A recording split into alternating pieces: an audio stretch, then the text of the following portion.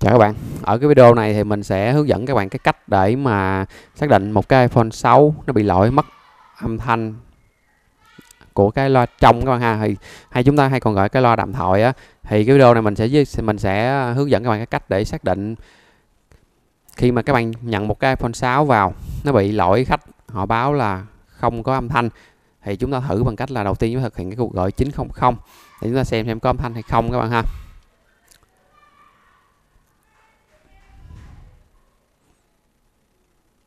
Rồi, thì khi mà cái tổng đài viên họ bắt đầu họ nói thì các bạn thấy âm thanh nó vẫn không có, vẫn mất đúng không? Rồi chúng ta tắt đi. Và chúng ta sẽ thực hiện, chúng ta bấm cái nút volume lên xuống để chúng ta xem xem cái phone chúng ta đang ở chế độ gì. Tại vì đôi khi nó bạn thấy không? Nếu mà thực hiện, bấm lên xuống mà nó hiện cái chuông nó có nghĩa là cái máy là âm cái cái đang ở chế độ bình thường của một cái điện thoại không có bị kẹt tai nghe ha. Tại có nhiều cái nó bị kẹt tai nghe các bạn không? Nó bấm lên các bạn thấy nó hiện tai nghe thì cái ban này gọi là cái ban chạm tai nghe nó khác nữa rồi, thì để ờ, xác định được một cái iPhone 6 nó bị mất lo trong nó do lỗi chip audio code hay là do lỗi bay band thì các bạn sẽ thực hiện ghi âm. Thì đầu tiên các bạn sẽ ghi âm một cái vài tiếng nói, alo alo 1234 alo alo 1234 alo alo 1234 rồi, các bạn ghi âm một đoạn đi, rồi sau đó các bạn tắt ghi âm và các bạn thực hiện, các bạn phát ra cái lo cái lo trong á. Khi mà các bạn bấm play một cái nó sẽ phát ra cái lo ngoài các bạn ha. Các bạn nhấn ngay cái đó đó không? Nhấn cái lúc này nó sẽ phát ra loa trong và các bạn vẫn không nghe gì hết ha. Khi chúng ta thực hiện ghi âm mà chúng ta vẫn không nghe gì hết rồi thì chúng ta sẽ sẽ xác nhận được là cái máy chúng ta nó có lỗi gì đó liên quan đến cái vấn đề là từ cái loa cho đến um, dây tiếp xúc loa cho đến socket và cho đến cái men các bạn ha. Thì chúng ta sẽ xác định từng bước từng bước từ ngoài vào trong. Thì cái vấn đề xác định lỗi cái cọng dây này hoặc xác định lỗi cái loa đó thì các bạn đã có ở cái clip căn bản ở ngoài acvn rồi ha. Rồi, thì cái việc đầu tiên các bạn sẽ phải mở cái máy ra. Cách ly pin đầu tiên ha, các bạn sẽ biết được cái cọng dây nào là cái cọng dây để dẫn đến cái loa, đúng không? Để các bạn biết được cái socket nào nó sẽ quản lý cái phần cái loa. Đó, các bạn thấy không? Rồi, thì mình sẽ xác nhận được cái socket này chính là cái socket quản lý cái loa các bạn ha. Nhưng mà trên cái socket đó nó có rất là nhiều chân, thì làm sao chúng ta biết được cái chân nào là cái chân loa, đúng không? Làm sao tôi biết được? Thì mình sẽ hướng dẫn các bạn cái cách để nhận biết được. Thì đầu tiên các bạn sẽ phải mở hàng Z đúp lên. Các bạn nên mua cái tool này ha. Cái tool này rất là hữu dụng cho cho việc các bạn sửa iPhone, iPad hoặc là Samsung á. Rồi các bạn sẽ chúng rõ ràng là chúng ta đã biết được cái socket để gắn lên cái main là socket nào đúng không đúng không các bạn? Thì chúng ta sẽ ướm vào cái hình ở trên cái Z đúp này các bạn sẽ thấy ha.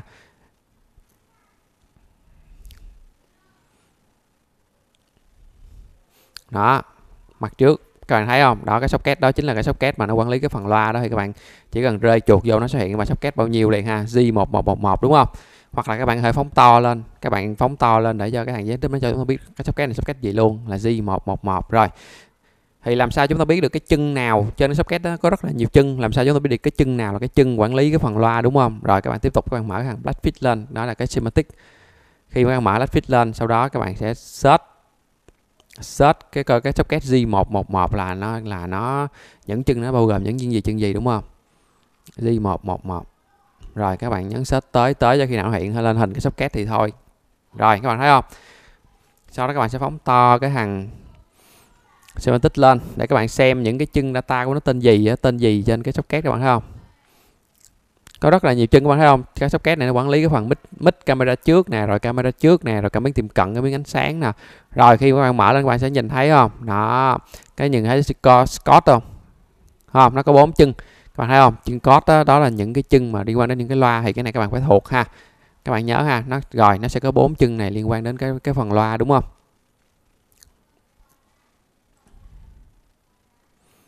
Rồi thì chúng ta biết được nó cái cái phần loa nó sẽ quản lý ở cái phần chân 1, 2 và 3, 4.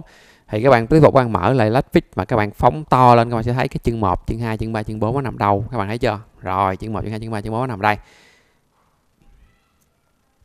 Rồi, sau đó thì các bạn sẽ lít vào từng cái chân đó để các bạn các bạn xem xem những cái chân này từ cái socket nó sẽ đi qua những cái cái, cái con nào các bạn thấy không? Đó nó sẽ đi qua cái cái diode bảo vệ ha DZ sau đó đi qua cuộn dây và tiếp tục các bạn nhấn qua một cái phần còn lại để các bạn xem cái cuộn dây đi vào đâu. Nó thấy không? Cuộn dây. Phóng to lên xíu. Rồi, cái chân này nó sẽ đi qua cuộn dây và từ cuộn dây nó sẽ đi thẳng vào cái con U0900 rồi, như vậy là chúng ta đã biết được cái con U0900 chính là con audio code quản lý cái phần lo. Tiếp tục các bạn thấy nè, nhấn tiếp vào những cái chân hai bạn thấy không? Nó tiếp tục đi qua con DZ bảo vệ xuống mát. Thì những cái con DZ này mà nó có bị chạm á các bạn bỏ hết luôn, cách ly hết cũng được ha, nếu mà không đo thấy chạm. Tiếp tục, các bạn thấy chưa? Nó nhấn vào những con dây FL nó sẽ tiếp tục dẫn đến cái con đó. Bốn chân loa là do con U 0900 điều khiển bốn cái chân loa. Các bạn thấy không? Như vậy nhờ cái cách này mà các bạn biết được là cái con IC nào nó sẽ quản lý cái phần gì phần gì luôn các bạn thấy không? Rồi, như vậy thì tạm thời, như vậy thì chúng ta chúng ta đã biết được cái con U 90900 này nó sẽ không lo quản lý cái phần lo rồi đúng không? Rồi thì bây giờ mình sẽ vẽ một cái hình cơ bản ra để cho các bạn nhìn, các bạn dễ hiểu hơn ha. Thì chúng ta sẽ biết nè, cái cọng dây, đúng không? Cái loa nó sẽ gắn vào cái cọng dây và cái cọng dây nó sẽ gắn vào cái socket và cái socket đó nó sẽ tên là G1111 ha. Và trên cái chân G111 là chúng ta sẽ biết được là chân 1 chân 2 chân 3 chân 4 là cái chân quản lý, cái phần lo. Thì cứ mất bất kỳ một trong những cái chân nào á, nó cũng đều bị gây ra cái loa chúng ta sẽ có vấn đề các bạn ha. Đó, các bạn thấy không? Ở một cái mạch điện thoại mình cứ tách từng phần từng phần ra để mình làm thôi, nó dễ lắm. Rồi, qua cuộn dây các bạn không? Ở đây mình chưa vẽ con diode các bạn ha, con diode khoan đi.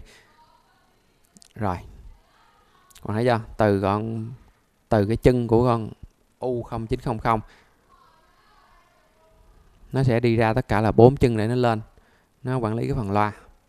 Thì các bạn có xem cái video clip đầu tiên của mình ở ngoài cái trang chủ là cái video clip mà các bạn thấy cái, cái con bạch tuộc các bạn thấy không? Nó sẽ đơn giản nó sẽ dễ hiểu hơn.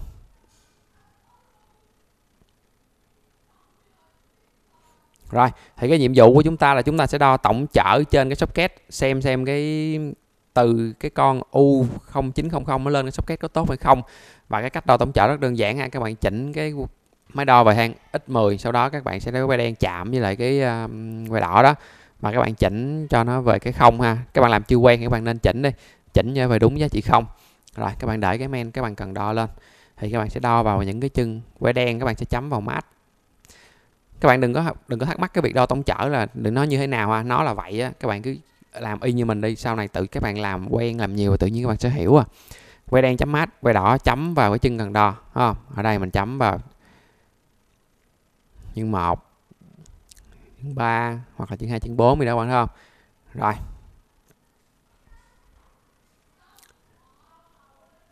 Bạn thấy không? Sau khi đo thì mình thấy nè, trong bốn chân á, nó sẽ có một chân nó bị mất trở các bạn thấy không? Chấm vô đâu lên gì đâu, khác biệt như những chân còn lại các bạn thấy chưa? Rồi các bạn thấy không? Như là cái chân ngoài rìa cuối cùng không có lên trở thì mình sẽ xác định được ok cái chân này nó bị mất mất cái trở có nghĩa là vì lý, lý do gì đó mà từ cái con U0900 nó không có đi lên được cái cái socket này thì làm sao mà nó điều khiển được cái lo các bạn thấy không? Đó nó bị mất rồi. Rồi thì chúng ta thấy chúng ta thấy có một cái chân á, nó bị sai lệch các bạn ha. Thì các bạn tiếp tục mở dây đúp lên và chúng ta nhấn vào, vô cái chân mà nó không có trở đó. Nhấn vô. Xem nó đi đâu.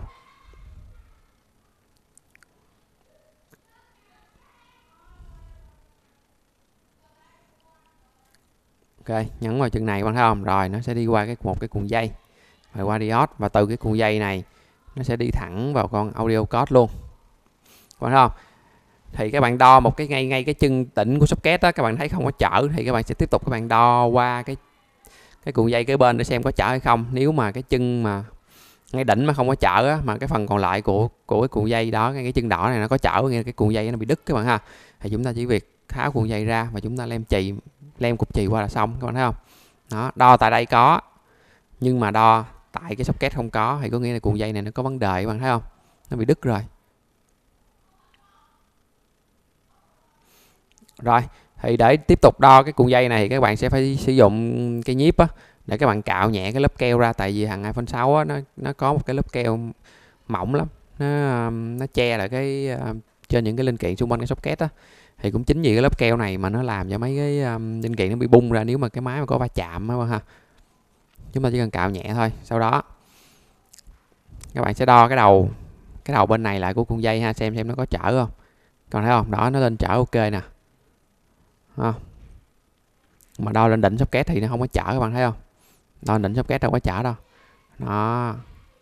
Mà đo bên đầu bên này cuộn dây thì có chở phải chưa? Rồi thì công việc đơn giản của chúng ta thì chúng ta chỉ việc là xác định được trong bốn chân rồi có một chân nó bị mất chở đúng không? Thì chúng ta sẽ bỏ vào kính hiển vi. Chúng ta câu cái cuộn dây ở lại thôi. Thì cái việc đầu tiên á thì các bạn sẽ lẫy nhẹ cái cuộn dây nó ra tại vì bản thân cái cuộn dây đó nó hư rồi nó nên nó, nó yếu lắm các bạn chỉ cần lẫy nhẹ cái là nó ra sau đó các bạn sẽ bỏ một ít nhựa thông lên và các bạn sẽ tạo mới cái chân nó lại. Thì những cái những cái skill này các bạn đã học được ở trong, rồi, các bạn thấy không? Những cái skill này các bạn có đã học được ở trong cái phần à, basic skill rồi các bạn ha. Đó, nên mình nói các bạn rất là quan trọng những cái skill này ha. Đôi khi chỉ việc, các bạn chỉ việc lem chì cho tốt, các bạn chỉ việc tạo chân cho tốt, đừng ảnh hưởng đến những cái linh kiện xung quanh thôi là đã ok, xử lý được cái ban này đó.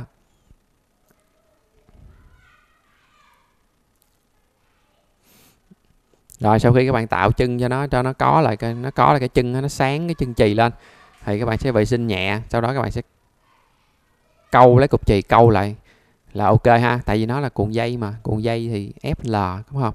Có thể câu được. Thì cái vấn đề này mình cũng nói rất là nhiều trong những cái um, clip căn bản các bạn ha. Không? cho một chấm chì nhỏ lên trên cái đầu hàng sau đó các bạn sẽ lem vuốt nhẹ vào một cái là nó hai cái chân nó ăn lại với nhau là ok.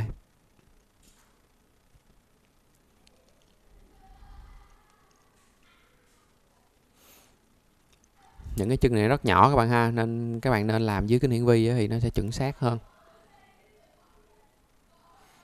Thì về kính hiển vi, các bạn chỉ cần mua cái loại kính hiển vi sôi nổi á, nó chum từ 10 cho đến 40 x là ok à. Cái loại nào càng mắc tiền thì các bạn xem lâu thì các bạn sẽ không bị mỏi mắt thôi không phải kính hiển vi mà nó có loại mà ở hai ba triệu là bảy tám triệu đúng không ha? Nó có cái nó có cái chức năng khác nhau hết đó các bạn xem nhiều các bạn thấy cái loại rẻ tiền các bạn xem nó nhức mắt lắm. Rồi sau khi chum lại các bạn thấy không? Thì mình sẽ um, sử dụng cái que đo để mình que đen chấm mát. Phải không? Rồi que đỏ mình sẽ chấm lên cái uh, đỉnh của socket để mình xem có trở chưa? Rồi nếu có trở thì ok chỉ cần uh, ráp vào và thử lại thôi. Các bạn thấy không? Còn ở những cái trường hợp như mà các bạn thu âm, các bạn thực hiện cái cuộc âm thanh cuộc gọi, các bạn bấm 900 á, mà mà các bạn không nghe. Nhưng mà khi mà các bạn thu âm mic đó các bạn phát ra nghe đó, thì cái này nó liên quan đến cái vấn đề bay ben rồi các bạn ha, chứ không phải liên quan đến vấn đề âm thanh nữa. Tại vì rõ ràng chúng ta thu âm với âm phát ra ok mà, cái loa ok mà, đúng không? Thì nó sẽ là một cái loại khác nữa, mình sẽ mình sẽ thực hiện một cái clip khác để ờ, demo cho các bạn xem, các bạn thấy không? Rồi thì đây chính là khoảng chừng 70% các bạn sửa máy khách hàng, các bạn sẽ gặp những cái lỗi này mất trở ha. Và thêm một vài cái lỗi nhỏ nữa đó là chúng ta đo và chúng ta phát hiện được là có một cái đường nào đó nó bị chạm. Các bạn thấy không? Khi bạn đo trở kháng nó tốt thì nó sẽ có trở kháng. Các bạn thấy không? Nó có trở kháng, còn khi mà, sorry các bạn, để mình chỉnh lại về không đi. Chích hai que lại với nhau và chỉnh về không đi, chứ không thôi nó dễ nhìn lầm lắm phải không? Rồi. Trong bốn chân chúng ta đo đi, có bất có bất kỳ một cái chân nào đó mà nó về không giống như vậy các bạn ha. Đây mình ví dụ ha đây là một chân rộng tổng trở đúng các bạn thấy không?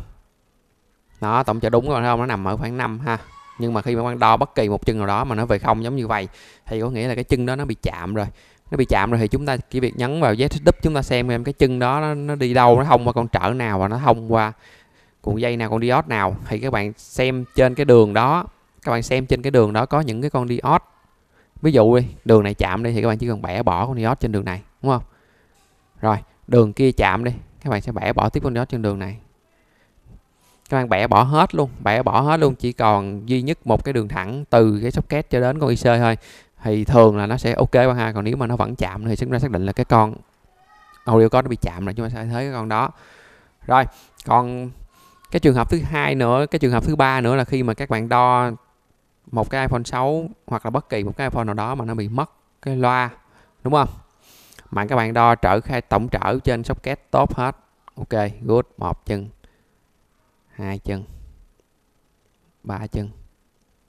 Bốn chân, đúng không? Các bạn đo mà tổng trở ok hết, có nghĩa là các bạn, cái đường xá từ con IC đúng không? Ok.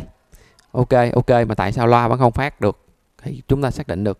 Đường đã ok rồi mà sao xe không chạy? Có thể là cái xe hết xăng, đúng không?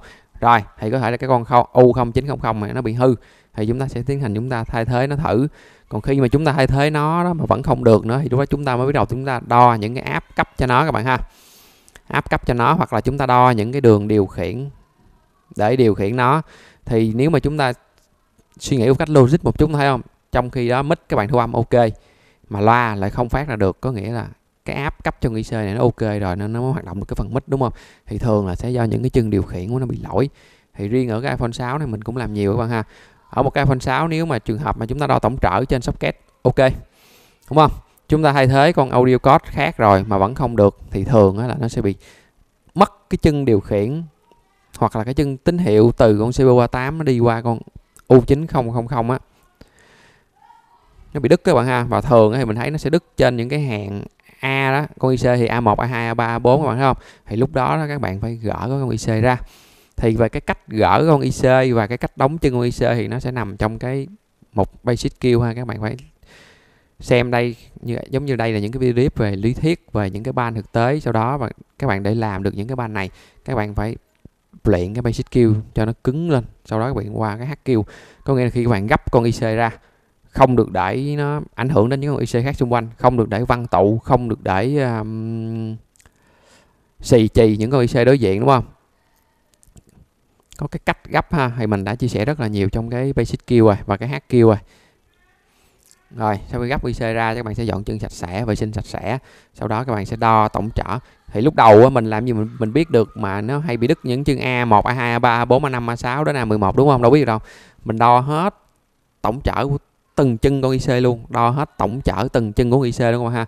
Khi mà đo một thời gian và làm đụng bên này đụng bên kia rồi đó mình mới phát hiện là à cái iPhone 6 này nó bị lỗi mà loa trong mà không có nghe đó.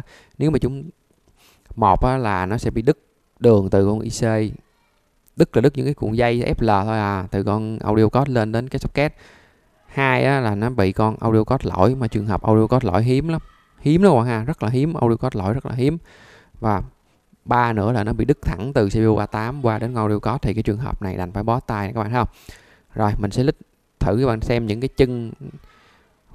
Rồi về cái sử dụng setup á, thì các bạn đầu tiên các bạn sẽ nhấn vào một cái điểm mát đi nhấn vào chân mát bất kỳ để chúng ta biết được cái chân đó là chân mát của con IC đúng không? Mà những cái chân đó nó đứt cũng không sao. Sau đó các bạn nhấn vào chữ nhấn vào chữ NC để các bạn biết được màu xanh dương đó là những cái chân trống là những cái chân NC not connect những cái chân như những chân không có xài. Các bạn đo những chân đó nó không có trở là bình thường hoặc là đứt là bình thường đúng không?